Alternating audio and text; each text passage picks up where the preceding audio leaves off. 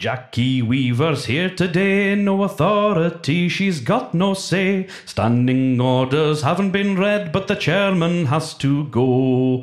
Soon may the Weaverman come to bring points of order and get work done. One day when Zoom is gone, we'll take our leave and go. Alan's iPad, it wasn't clear. He's a member of the public we couldn't hear. Was it mute or the naughty step? I guess we'll never know. Soon may the Weaverman come to bring points of order and get work done. One day when Zoom is gone, we'll take our leave and go. Um, yeah, I'm just in a meeting at the moment. Can I give you a call back when it finishes?